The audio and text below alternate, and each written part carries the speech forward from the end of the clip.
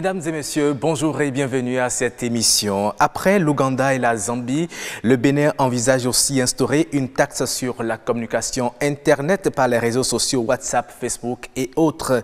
L'annonce faite par le ministre de l'Économie et des Finances suscite depuis lors des réactions et nous nous proposons d'en débattre en décryptage.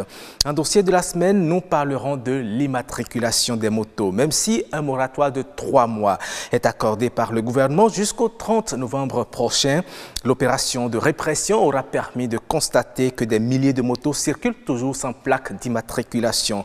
À quoi cela est-il dû?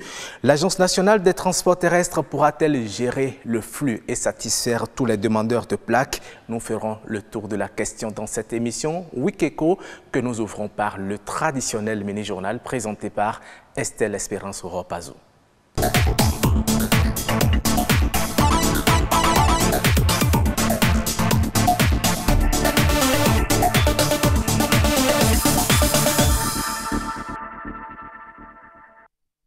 Bonjour à tous et bienvenue dans le mini-journal. Il se développe depuis quelques années à Cotonou et environ des marchés parallèles de vente de portables dits d'occasion. Un marché qui vous permet de vous procurer des téléphones récents et à des prix très attractifs. Mais ces appareils sont-ils vraiment fiables? Sandrel Sani et Ulvaeus Balogou ont fait une immersion au cœur de ce marché. Investir des centaines de milliers dans l'achat d'un téléphone neuf n'est plus à la portée de tous. Et déjà, il existe un marché des téléphones dits d'occasion. Nous sommes à Ganhi, sur le site de vente des différents types de téléphones portables. Ici, Eric opère en tant que technicien revendeur. Il a l'habitude de réparer entre autres les portatifs et toutes les gammes de téléphones, dont les téléphones dits d'occasion. Il y a le climat financier qui est un peu, qui est un peu dur, ce qui fait que ceux qui n'ont pas assez de moyens ils préfèrent plus acheter les téléphones d'occasion. Des téléphones souvent prisés par les populations à revenus modestes ou faibles. Le prix n'est pas pareil au prix du neuf. Donc si vous n'avez pas la capacité d'acheter un téléphone neuf, vous achetez un téléphone d'occasion. Ils se disent que la même fonction que le téléphone neuf a, c'est cette même fonction que le téléphone d'occasion a.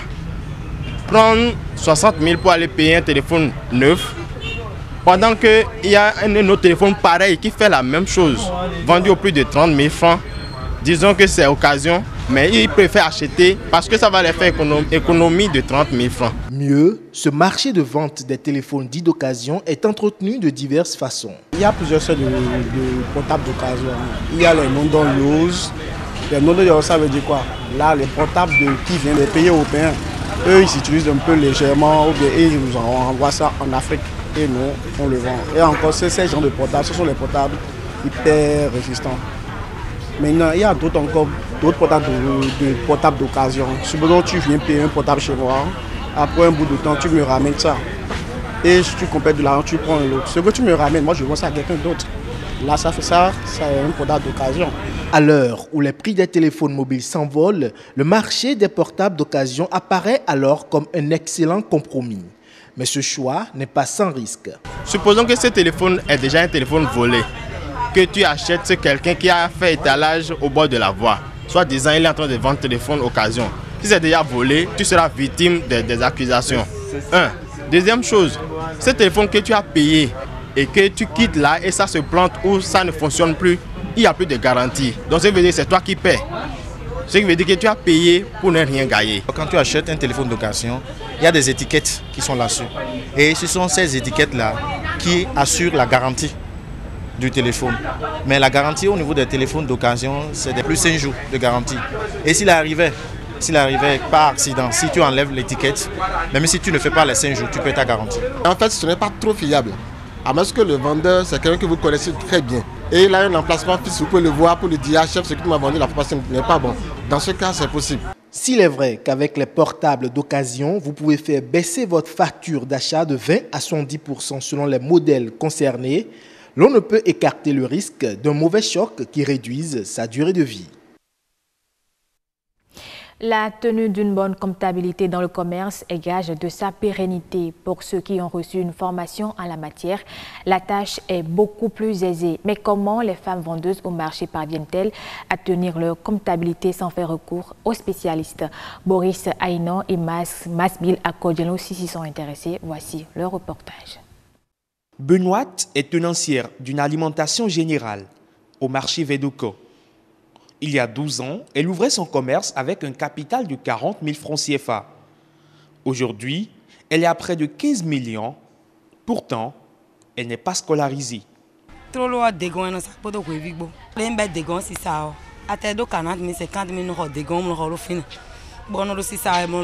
J'ai commencé mon commerce avec la vente de crevettes et de frettins.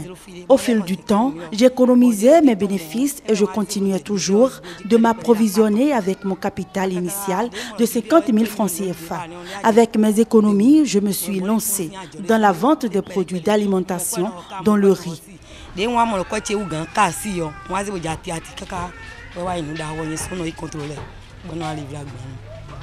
Comme elle, de nombreuses autres vendeuses n'ont pas évolué dans les études ou n'ont jamais fréquenté l'école, ce qui ne représente aucun handicap pour elles, puisqu'elles arrivent à tenir à jour la comptabilité de leur commerce.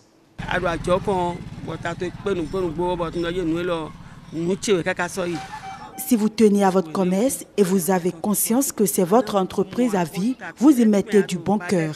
Même si vous vendez de simples balais et que vous achetez la douzaine à 1000 francs, vous savez déjà que vous devez la revendre à 1200 francs. Si par votre talent, vous la vendez à 1800 francs CFA, vous y soustrayez le prix d'achat et le reste est votre bénéfice dans lequel vous allez satisfaire vos besoins. Pour y arriver, les dépenses sont proportionnées à la vente au quotidien. Tout décaissement est minutieusement étudié.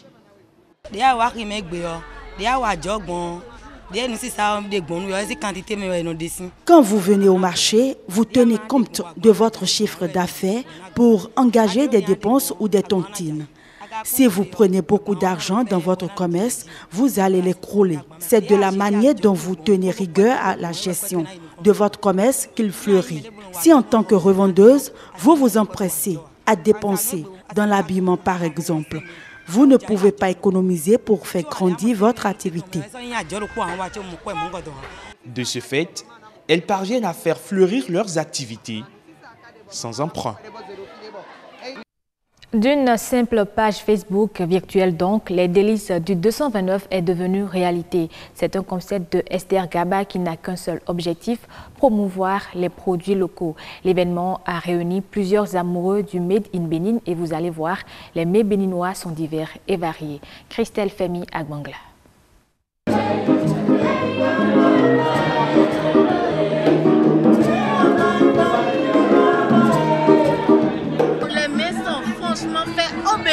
Et là, je suis en train de déguster de, de lilium pilé, voilà, avec euh, de la sauce de mouton, avec euh, de chayo, voilà. il faut regarder la calebasse, voilà. C'est purement africain, voilà, et purement béninois. C'est nous, le 229. Les mets sont bien préparés et j'espère que ça va contribuer au développement de notre pays. C'est l'un des objectifs visés par les organisateurs des délices du 229. Un événement qui a rassemblé des invités de diverses catégories sociales autour du consommant local. Le but est de donner une référence identité à la gastronomie béninoise, une concrétisation du concept Made in Bénin. L'initiative euh, a pris point de départ depuis un an. J'ai créé ma page Facebook où je fais la promotion de tout ce qui est consommation locale, de tout ce qui est produit locaux. Alors, un an après la création de ma page, j'ai voulu quitter le virtuel pour le réel, pour euh, faire découvrir euh, à tous les fans de la page les produits qui sont promus sur la page. La particularité, c'est de montrer aux Béninois qu'ils peuvent organiser des, des réceptions, des événements avec uniquement les produits produits ici. Au-delà de l'aspect culinaire, les délices du 229, c'est aussi la contribution à la croissance économique du pays. Ceux qui lavent les plats là, ce n'est pas de l'emploi. Ceux qui servent, ce n'est pas de l'emploi. Ceux qui préparent, ce n'est pas de l'emploi. Ceux qui font de la, promotion du restaurant, ce n'est pas de l'emploi. Et d'une manière ou d'une autre, c'est déjà contribué donc à faire révéler le label Made. La révélation du Made in Benin n'est pas sans la qualité stricte et continue des produits proposés aux consommateurs. La qualité, c'est l'amélioration continue des performances. C'est vrai, nous avons fait beaucoup d'efforts. Il y a 10 ans, le Bénin ne pouvait pas se servir dans un restaurant. Aujourd'hui, par la grâce de Dieu, voilà le Bénin qui se sert dans un restaurant. C'est louable, c'est très bien. Mais nous ne devons pas nous dire que nous sommes déjà parvenus. Nous devons maintenant nous reprendre en charge pour chercher, mais le petit plus qui va nous faire évoluer. La qualité est donc le meilleur atout des produits made in Bénin. À ce prix, promouvoir le local va cesser d'être un simple slogan. Et ce sera tout pour euh, le mini-journal. Suivez juste après moi la revue de presse et le décryptage. Merci à vous Estelle Espérance Ropazou. Vous nous avez fait venir de l'eau à la bouche avec votre dernier reportage. Hein. Merci à vous et très bon dimanche. Nous allons à présent enchaîner avec euh, la revue de presse économique de la semaine et c'est une réalisation signée Patrick Adjaboudjou.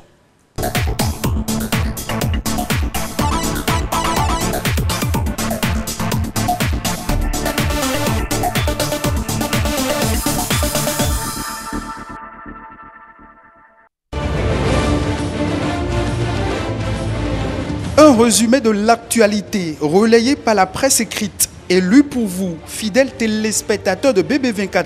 Voici l'essentiel à retenir sur Wikeko, 17,81 sur 20. C'est la moyenne du premier au baccalauréat 2018 au Bénin. Adam Soulé Gounou Ismaël, c'est son nom. Il décroche la mention très bien et devient ainsi le meilleur des candidats au bac 2018, précisément dans la série D laquelle a connu le plus faible taux de réussite, 24,76%. L'information est relayée par toute la presse nationale. L'économiste va plus loin et nous apprend dans sa parution du mardi 28 août 2018 que la deuxième du Bénin au bac 2018 est une fille. Elle vient de la série C. Son nom, Adam Bassimat Adouke et Itayo. Elle rend ainsi hommage à la gente féminine avec une moyenne de 17,77 sur 20 au baccalauréat 2018. Après le bac 2018, les regards sont désormais tournés vers la qualité du système éducatif dans les prochaines années. Sur le sujet, Nouvelle Expression affiche à la une de sa parution du jeudi 30 août 2018 instauration du Conseil national de l'éducation. L'école béninoise renaît. Une renaissance dont l'acte 1 vient de prendre corps à l'issue du Conseil des ministres du mercredi 29 août 2018. Le gouvernement a en effet adopté les tests portant création, attribution, organisation et fonctionnement du Conseil national de l'éducation. Du secteur de l'éducation à la santé, l'injonction faite aux acteurs du secteur de la santé de rester dans le service public ou de choisir se consacrer exclusivement à leur activité dans le secteur privé entre dans sa phase répressive dès le 1er septembre 2018 sur le territoire national. Le quotidien du service public a publié l'information dans sa parution du mardi 28 août 2018. Marché financier de l'UEMOA, le dernier bon de trésor de 50 milliards que prévoyait lancer le Bénin sur le marché des titres publics le vendredi 24 août 2018 n'a pas eu lieu l'opération est reportée s'inédier. C'est l'économiste qui nous l'apprend. Toujours sur le marché des affaires, la diplomatie béninoise s'ouvre au monde entier du 3 au 4 septembre prochain à Beijing, en Chine. Le Bénin prendra part au troisième sommet du Forum sur la coopération sino-africaine. Tout sur les enjeux de la participation du Bénin. Ali à la page 3 du quotidien L'économiste du mardi 28 août 2018 travaux d'impression des procès-verbaux de la présidentielle de 2016 au Centre national de production des manuels scolaires, le Conseil des ministres du mercredi 29 août 2018 révèle un scandale financier de 5 millions de francs CFA Le ministre de la Justice a été instruit à l'effet d'engager des poursuites judiciaires contre les mises en cause. Fin de cette revue de presse sur Wikeko à dimanche prochain.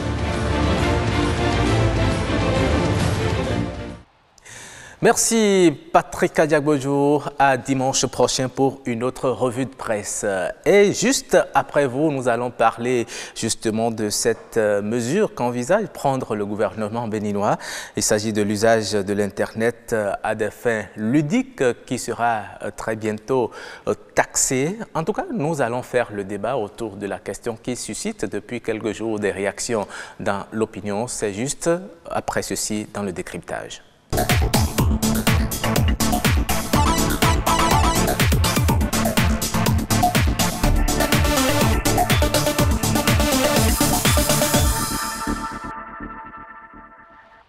Les confrères m'ont déjà rejoint sur ce plateau. J'ai le plaisir de vous les présenter. D'abord, Nelson Avademe, bonjour. Bonjour, Vous êtes journaliste au quotidien Le Matinal. C'est exact. Merci d'avoir répondu à notre invitation. Et en face de vous, lui s'appelle Fulbert Adjime Rosso. Bonjour également. Bonjour, Rock. Vous, vous êtes journaliste au quotidien Fraternité. Tout à fait. Merci d'avoir répondu aussi à notre invitation pour décrypter cette actualité qui agite depuis quelques jours l'opinion. Vous le savez savez, même si vous faites des forfaits Internet pour surfer sur les réseaux sociaux, vous serez très bientôt à nouveau taxé selon l'usage que vous en ferez.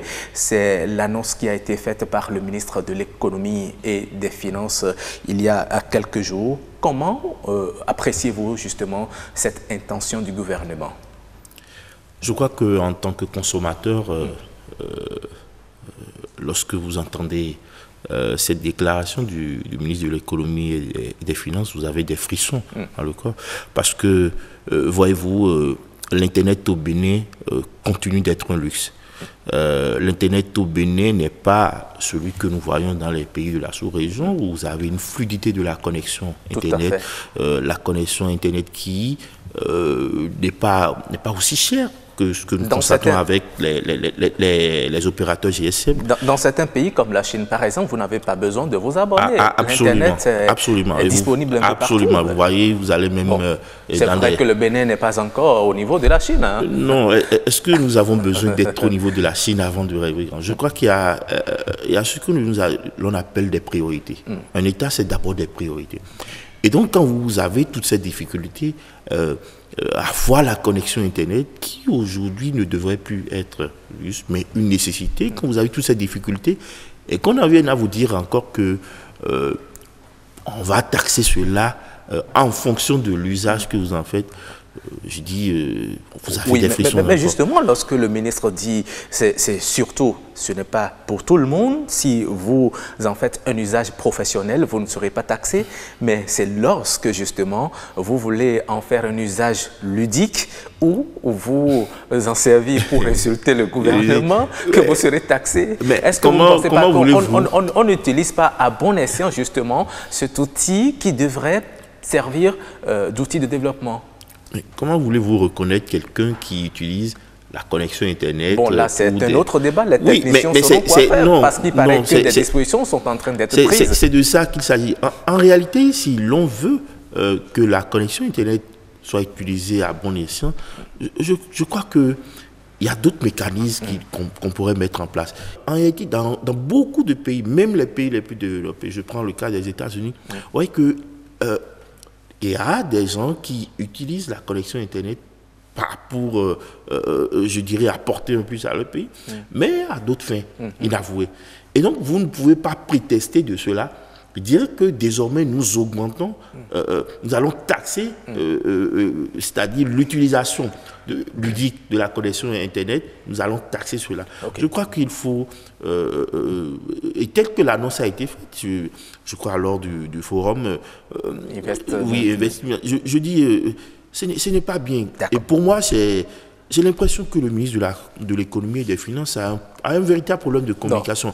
Voyez-vous, parce que pour donner une information de ce genre, on, ne la lance pas comme ça, euh, comme cela a été fait. Il aurait fallu préparer psychologiquement et expliquer peut-être le bien fondé de cette décision aux populations. En tout cas, il a dit, hein, de- il, a, il a dit, il fait partie des soutiens, des soutiens forts à cette décision. Ce n'est pas sa décision, c'est une décision du gouvernement qu'il a euh, un peu trop fait peut-être euh, d'a- d'avoir annoncé. Euh, Fulbert, dites-nous, lorsque vous voyez aujourd'hui la façon dont on utilise euh, l'Internet, vous savez très bien que des gens en font un usage, un usage vraiment ludique, un peu comme le ministre l'a- déploré. Dans un passé récent, euh, on a constaté que les cybercriminels en utilisent pour euh, euh, escroquer sérieusement les gens. Est-ce que vous ne pensez pas que c'est une mesure qui est vraiment la bienvenue?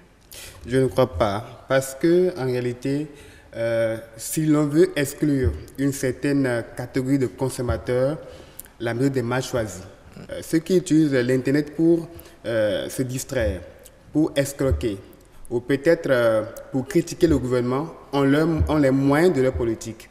Quand vous prenez un politicien pour critiquer, vous pouvez mettre la connexion à 2000 francs le, le mot, il aura les moyens pour le faire. Quand vous prenez un cybercriminel pour escroquer, il a les moyens également pour le faire. Mais les professionnels ou autres parties, j'ai suivi un reportage dans le journal télévisé, quelqu'un qui utilise sa page Facebook pour promouvoir l'art culinaire béninois. Tout à fait. Il n'est pas en train de, de distraire, par- il, il n'est pas là pour la distraction. Il, il le fait pour promouvoir quelque chose. Justement, ceux-là ne seront pas taxés Mais quand on si, dit- si on va s'en tenir justement à, à l'intention du gouvernement. Mais la mesure dit que les réseaux sociaux seront taxés. Et quand on dit réseaux sociaux, c'est Facebook, c'est WhatsApp, euh, c'est Twitter et autres. Et donc, on cible directement tous ceux qui utilisent les réseaux sociaux comme des gens qui l'utilisent à des fins de distraction. Alors que beaucoup d'aujourd'hui des startups utilisent les réseaux sociaux pour trouver des clients. Oui, mais, mais ceux-là seront épargnés. Par quel, par quel moyen peut-être le gouvernement peut On nous, savoir a, on, nous a, qui- on nous a annoncé que les, les réseaux ISM seront associés Parce que et déjà, qu'ils seraient déjà, en train de prendre des j'ai- J'ai dispositions. lu un message, j'ai lu un communiqué d'un opérateur économique d'un réseau GSM de la place qui Mhm. a fait sortir ses tarifs. Quand on voit les tarifs directement, on voit que tout ce qui est réseaux sociaux est complètement taxé. C'est-à-dire le consommateur n'a même plus les moyens de se payer du forfait. Parce qu'on estime que WhatsApp et Facebook, c'est pour se distraire. Alors que quand je suis un, euh, euh, un, un- un responsable d'entreprise et que j'ai des clients sur WhatsApp, je vais chercher, je vais faire la promotion de mes produits sur WhatsApp. Le gouvernement qui est dans son bureau ou le gouvernement qui est re- re- retiré au palais ne saura pas que c'est pour faire la promotion d'un produit. On supposera que c'est pour euh, juste avoir des images à quelqu'un et puis c'est tout. Donc, vraiment, c'est à revoir. D'accord. Sinon, on risque encore d'aller contre la vision de développement de l'économie numérique que nous sommes en train de, de pêcher depuis. D'accord. Euh, Alors, aujourd'hui, est-ce que vous pensez que c'est parce que euh, on a l'impression que le, gouvernement veut euh, s'ériger en avocat défenseur justement des réseaux GSM Est-ce que depuis que euh, l'on a commencé à utiliser les réseaux sociaux, le chiffre d'affaires des réseaux GSM a-t-il baissé ou, bien que s'est-il passé concrètement? Parce qu'il a dit que les- les entreprises de télécom perdent beaucoup d'argent et que l'État également perd de l'argent alors qu'on est un pays en voie de développement. Non, je suis surpris d'entendre que les entreprises GSM perdent de l'argent parce que... Non, mais c'est lui qui l'a dit, Non, justement. je, je, je n'ai pas, c'est pour Et cela que je il est l'agentier national, je- il est très bien placé pour savoir que les entreprises télécom perdent de l'argent et que l'État également perd de l'argent. Absolument, et c'est pour cela que je vous dis que je suis surpris d'entendre que euh, les entreprises, les, ré- les- les réseaux GSM perdent de l'argent. Parce que voyez-vous, euh, nous sommes, nous sommes cruciés par les réseaux GSM. Euh, tous les dysfonctionnements que vous constatez au niveau de ces ré- réseaux GSM, sans pouvoir même être dédommagés, mais on- veut, je ne sais pas comment ces réseaux GSM... Non, lo- lorsque il a, il a expliqué, lorsqu'au lieu d'émettre directement des appels par les voies traditionnelles que l'on connaît, aujourd'hui avec l'application voix de, de WhatsApp, vous appuyez puis vous communiquez allègrement et Non, vraiment à moins de coûts. Combien de Beaucoup il- délaissent il faut- aujourd'hui. Il faut rec- recourir. aujourd'hui Il aurait fallu qu'on nous présente. de communication Rec- au profit de WhatsApp Et qui il aurait, se fallu, il moins. aurait fallu qu'on nous présente des statistiques pour nous convaincre qu'effectivement, euh, beaucoup, de, beaucoup de Béninois ou beaucoup de consommateurs délaissent les voies traditionnelles de communication et ça donne plus à hasard. Je vais vous dire une chose. Quand vous avez envie, euh, quand vous voulez faire quelque, un appel vraiment sérieux, ben, écoutez vous utilisez les canaux euh, traditionnels. Parce que quand vous mettez un appel par WhatsApp, connaissez toutes les difficultés que vous avez à entendre votre interlocuteur au bout du fil. Parce que la connexion Internet n'est pas, pas stable. Et donc, c'est pour dire que euh, je suis surpris qu'on dise que euh, les canaux traditionnels de communication sont délaissés. Non, moi, je, je ne pense pas. il y a une catégorie de, de, de personnes qui utilisent les, les, les, voice notes, souvent, mhm. ce sont des gens, euh, pour la plupart, qui ne sont pas euh, euh, instruits, qui pensent que juste avec les voice notes, on, peut, on peut essayer de communiquer. Je crois que le problème d'ailleurs, lorsqu'on a un gouvernement qui a mis un point d'honneur sur l'économie numérique, mhm. lorsqu'on a un département ministériel qui est consacré à l'économie numérique, cela veut dire qu'on a des ambitions de développer cette économie numérique dans, laquelle le, dans laquelle le Bénin euh, n'est pas bien logé. Et donc, depuis 2016, je constate qu'il y a de véritables efforts qui sont en train d'être fournis pour que nous soyons. Euh, euh, euh et, cette et, cette décision participe également des efforts, des efforts qui sont en train décision, Cette décision vient comme, pour, pour, je dirais, pour remettre en cause, pour moi en tout cas, tous les efforts qui sont fournis aujourd'hui pour développer l'économie. Dans ce pays où l'Internet, voyez-vous, mais lorsque le consommateur a des difficultés, lorsque le consommateur est jugé par ces réseaux GSM, mais vous allez vous plaindre où? Vous voyez, le mécanisme qui est mis en place ne vous permet même pas de vous plaindre de dire euh, euh, voilà ce que j'endure avec ces. Et donc, quand on en vient à taxer, je dis que c'est une porte ouverte à ces réseaux GSM mhm. qui. Pour davantage euh, davantage, absolument. Parce que le contrôle dont on parle, on nous a tout le temps dit qu'il y a des équipements qui sont installés aujourd'hui au Bénin mhm. pour contrôler euh, euh, la tarification euh, de, ces réseaux GSM. Mais cela n'a jamais empêché ces réseaux GSM de, continuer dans leur salle. Et donc, pour moi, c'est une porte ouverte pour que le consommateur soit davantage grugé. C'est ce que vous pensez. Et ce consommateur qui n'est pas du tout bien loti puisse ne, il pas ne sera, Il ne saura même pas qu'il est en être ah, ah, absolument. Alors, oh, oh, il n'y a pas que les, les comment la taxe qui sera appliquée sur les communications WhatsApp, etc. Lorsque vous avez à télécharger également des films ou bien de la musique, il est dit également que vous serez taxé. Est-ce qu'on est en train de vouloir limiter l'accès à Internet aujourd'hui au Bénin? C'est en réalité ça. Nous sommes dans la dynamique de limiter complètement l'accès à l'Internet pensant que ceux qui téléchargent, ceux qui euh, postent des vidéos sont souvent ces politiciens. En réalité, le but est beaucoup plus politique qu'économique. C'est ce que moi je lis. Quand surtout le ministre vient à dire que euh, quand on veut critiquer le gouvernement, il faut se donner les moyens de le faire. Mhm. Alors que aujourd'hui on parle de système MOOC, mhm. euh, apprendre à partir des vidéos sur Internet. Tout à fait. Pour, pour le faire, il faut s'abonner à, une connexion Internet, mhm. il faut télécharger des vidéos, lire, répondre aux questions. Mais si je suis un étudiant et que je dois payer cinq fois plus désormais pour pouvoir avoir accès à un film documentaire, encore que la connexion n'était pas encore fiable, mhm. il fallait prendre toute une journée peut-être pour télécharger euh, euh, euh, un élément d'une heure de temps, et qu'aujourd'hui je dois encore payer cinq fois plus, alors on porte encore un coût à l'éducation numérique. Donc, tout est aujourd'hui remis en cause quand on veille tout simplement à mettre euh, euh, euh, fin aux dérives qu'on observe sur les réseaux sociaux. qui sont favorisées par la politique. Mais, vous êtes tout au moins d'accord qu'il faut mettre fin, un terme justement aux dérives que l'on constate aujourd'hui dans l'usage de l'Internet. Le code du numérique est là, la loi est là. Ceux qui sont là pour faire les dérapages peuvent être corrigés, peuvent être réprimés par l'application stricte du code. Mais Ailleurs, il y a d'autres personnes qui ont des objectifs plus importants. L'éducation est là. Il y a les médias qui utilisent également ces canaux-là pour, pour, informer la population.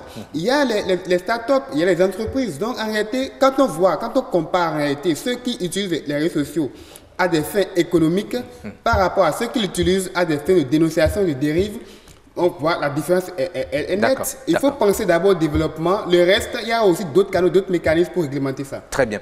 Merci. Je vous laisse la parole, Nelson, rapidement pour votre mot de fin parce que nous sommes déjà à la fin de cet entretien. Non, je, dirais que... Que faut-il euh, faire aujourd'hui pour qu'il n'y ait pas trop de grincement dedans? Même si on veut réglementer le secteur. Ce, qu'il faut faire, c'est d'abord euh, euh, revoir complètement cette mesure. Je pense bien que la technologie a évolué. Mhm. Aujourd'hui, vous n'avez plus besoin, quand on parle de musique, de vous encombrer avec des, des, CD, des disques euh, pour jouer de la musique. Vous pouvez aller rapidement télécharger de la musique. Euh, vous pouvez aller ah, absolument, vous pouvez télécharger des films. Et donc la technologie a évolué. Mhm. Si nous voulons évoluer, si nous voulons mettre notre pays, mhm. d'accord, au même diapason que les pays qui ont développé l'économie numérique, je crois que cette décision ne rend pas service à tous les efforts qui sont fournis depuis 2016 euh, pour développer l'économie. On ne peut pas avoir consacré un ministère entier à l'économie numérique et en venir à une décision euh, de taxer, euh, je dirais, l'Internet au Bénin. L'Internet n'est plus un luxe, mais une nécessité pour tous. Très bien. L'Internet est, est une nécessité pour tous au Bénin et vous recommandez que l'on laisse tout le monde aller sur Internet, faire ce que l'on veut, mais il va falloir réglementer justement. L'objectif du gouvernement est, bien précis, c'est euh, de faire engranger assez de ressources euh, dans les caisses de l'État, également dans les caisses de ces entreprises pour qu'elles ne mettent pas la clé sous le paillasson. Merci d'être passé dans cette émission pour votre riche contribution à, ce débat qui agite depuis quelques jours l'opinion. Merci également à vous, Nelson, et très bon dimanche à vous.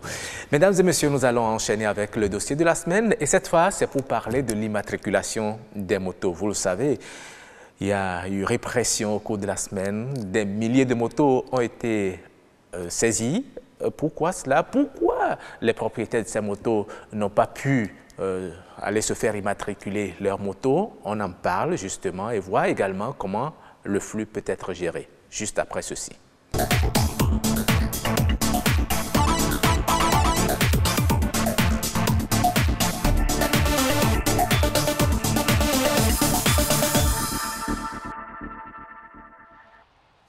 Et voilà, donc euh, nous sommes là pour parler du dossier de la semaine et il aura fallu déclencher justement une opération de répression pour défaut d'immatriculation de motos pour se rendre à l'évidence qu'ils sont encore des milliers et des milliers à ne pas avoir fait immatriculer leurs motos. Rodrigue Herman Amégan est allé faire le constat. Regardons. Dialogue de sourds, ici dans les locaux de l'annexe Atlantique Littoral de l'Agence nationale des transports terrestres. L'adrénaline est montée d'un cran. Il s'en est fallu de peu pour qu'ils en viennent aux mains.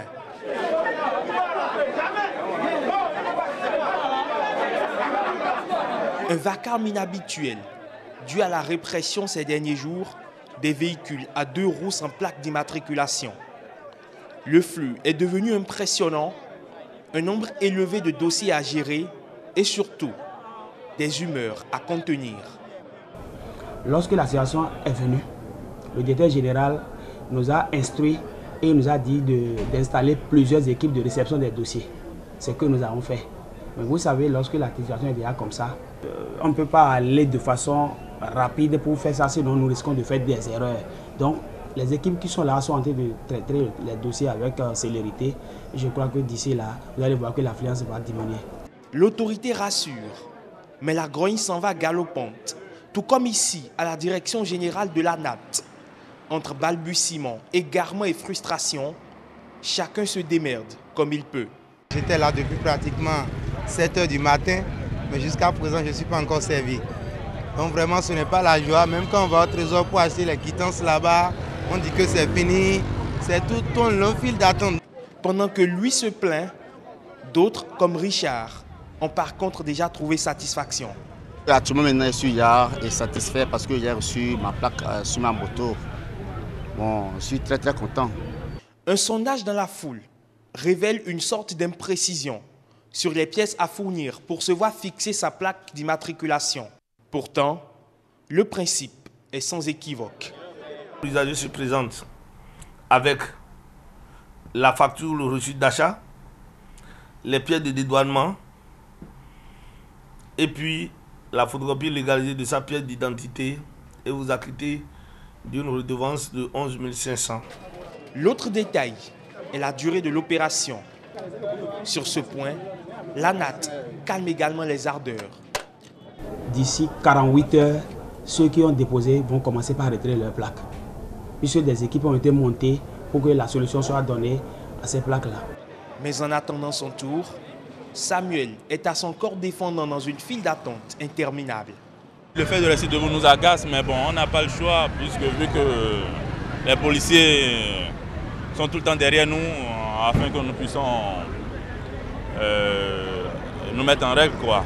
L'immatriculation de sa moto se présente donc comme une situation où chacun est à la fois un acteur consentant et la victime potentielle d'un système qui requiert patience. Et voilà, merci à vous Rodrigue Herman Amégan. Nous recevons ici euh, Monsieur Auguste Adjovi. Bonjour. Bonjour Monsieur Merci hein, d'avoir accepté notre invitation hein, justement pour aborder euh, aussi cette actualité parce qu'elle a sérieusement agité euh, l'opinion depuis quelques jours.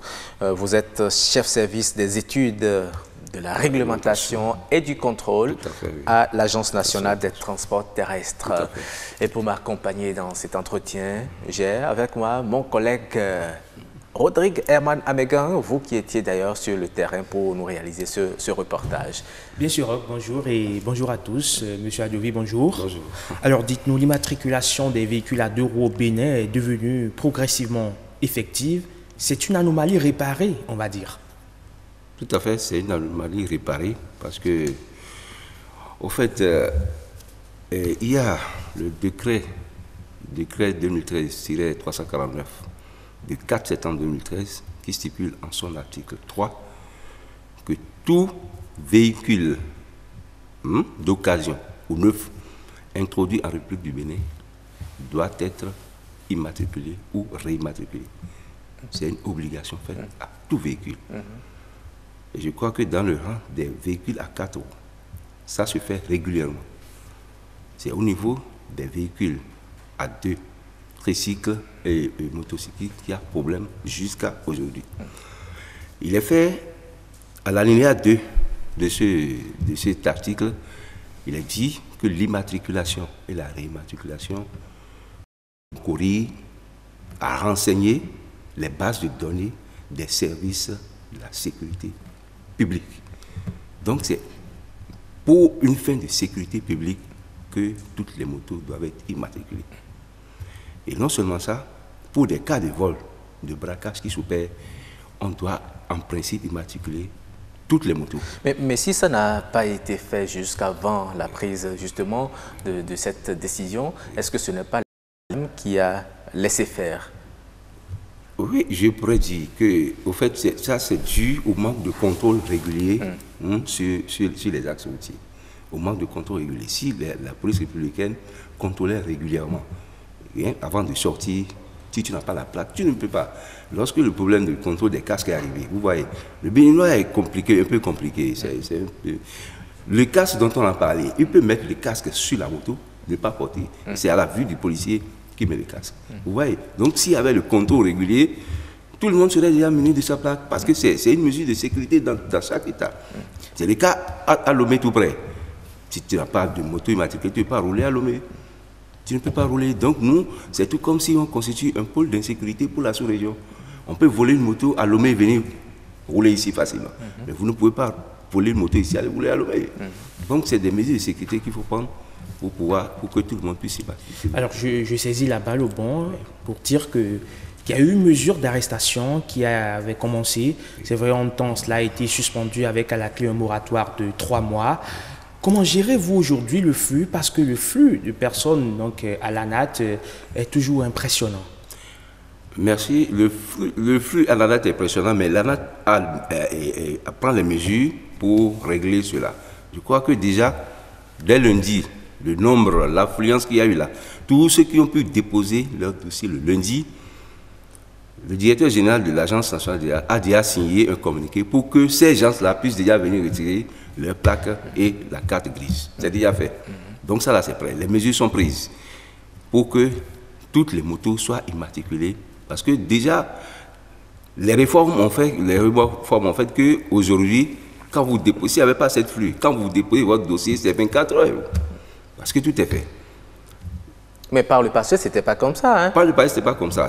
Par rapport aux ceux, réformes. Ceux, qui ont voulu se mettre à jour au moment où cette décision a été prise, et ils ont attendu des mois, des mois avant que euh, la plaque ne leur soit servie. Bon, au fait, quand vous parlez des mois avant que la plaque ne soit servie, vous savez, quand vous déposez le dossier, il y a, un, il y a, il y a une division qui s'occupe de l'étude du dossier. Mais quand le dossier est bon, que ça passe. Et on immatricule. On ne prend pas, c'est pas qu'on regroupe des papiers seulement et on prend, on immatricule une moto. Vous voyez, si vous déposez le dossier et on remarque que votre euh, euh, papier de douane n'est pas authentique, ah, ça, il y du tout dessus, c'est un dossier qui est au rejet et on met l'objet du rejet. Et c'est des dossiers, c'est des dossiers qu'on fait une liste et on met les motifs du rejet. Mais le Béninois, quand il dépose, il ne, se retrouve, il ne revient plus sur les lieux pour demander mais qu'est-ce qui se passe? Je n'ai pas eu la plaque. Vous avez, vous avez remarqué qu'il y a euh, un nombre impressionnant de plaques, un stock de plaques qui est là depuis des années. Les gens ne viennent pas chercher. Et c'est maintenant que la phase de répression est lancée que tout le monde s'acharne pour prendre sa plaque le même jour hein, au niveau de l'agence. Alors, peu euh, dites-nous hein, à ce jour, euh, combien de motos, de véhicules à deux roues sont immatriculés au Bénin? Est-ce qu'on est qu'on a les chiffres exacts? Bon, après, on a des chiffres. après, de motos immatriculées au Bénin, ça avoisine 350 000 motos. Dis donc. Oui, 350 000 motos immatriculées. C'est pas rien. C'est pas rien, mais au fait. Et avec les milliers- avec les qu'on a raisonné fait. la- la fois oui, dernière. c'est pas rien, mais c'est- insignifiant. Si vous-même vous remarquez euh, dans, une- dans un feu tricolore, on vous arrêtez, regardez le nombre de motos, vérifiez un peu. Sur 10 motos, à peine vous allez voir 3 qui sont immatriculées. Jusqu'à aujourd'hui. L'opération, lors de, de la répression, vous avez vu tant de motos à raisonner. Malgré ça, aujourd'hui, vous circulez, vous avez encore plein de motos qui sont à. Alors, monsieur, monsieur Adjouvi, au départ, euh, les frais d'immatriculation étaient à 3500. Brutalement, on est passé à 11 500. Qu'est-ce qui a pu bien se passer pour qu'on mette si tant à l'épreuve la trésorerie déjà anémiée du Béninois? Je vous remercie par rapport à ça. Vous savez, la, la direction, c'était la direction des transports terrestres. Et en, ce, en cette période, le gouvernement d'alors avait décidé de subventionner les plaques pour une période donnée. Voilà. Donc, c'est dans de la subvention que le prix est revu à la baisse à 3 900. Et 2 900 et quoi? 2 900. Vous voyez-vous, malgré 2 900, les gens n'ont pas fait la plaque. Vous voyez? Donc, la période de subvention est passée. L'agence, et la direction est devenue une agence, autonomie. Donc, a besoin de moyens pour son fonctionnement. voilà, la, la plaque, ça a un prix. Le niveau de la, la, la carte grise, ça a un coût. Donc, tout est calculé. Et c'est ça, il y, a, il, y a, il y a le trésor qui est dedans, le timbre, tout ça là, c'est calculé. C'est ça qui devient 11 500 francs fixés. Pas arrêté 0,50. Et combien avez-vous déjà engrangé par rapport comme ressources Ressources, je ne suis pas au, au service des Les finances. milliards peut-être On- service des on- raisonnerait en Alors, de euh, milliards. sur sur le terrain, sur le terrain certaines langues parlent de faux frais euh, qui portent la somme réglementaire à des proportions suffisamment inouïes. Intox, ou vous avez déjà la puce à l'oreille Bien sûr, euh, vous savez, quand il y a d'affluence, il y a des gens qui ne veulent pas attendre, qui ne peuvent pas faire le rang, ils n'ont pas le temps. Mais il y a des, des gens qui offrent leurs services, qui sont autour. Non, L'agence n'est pas mêlée à ça. Vous trouvez vous n'êtes pas rentré dans l'agence pour déposer votre dossier. Vous trouvez quelqu'un qui dit non, non, non, donnez, je vais vous aider. Mais ceux-là. L'aide de celui-là, c'est oui, c'est vrai, que ceux-là, ceux-là qui vous proposent leur service, ne le font pas sans acquaintance justement avec les pas. agents de, de- de l'agence. Du tout pas. Vous allez, il, faut, il, faut, il faut venir vérifier. Non, on vous dit, on vous dit, écoutez, vous avez la possibilité d'avoir votre carte ou bien vo- votre plaque en 24 heures. Je Lui, vous- ça dépend, celui qui vous propose son vous service, ça dépend des relations qu'il a avec l'agent qui est en poste. Faites, euh, faites euh, l'exemple vous-même, venez déposer votre dossier pour Mm. voir quand est-ce que ça va sortir. C'est 24 heures. Donc, celui qui vous dit ça, c'est pour vous amener à lui remettre votre argent.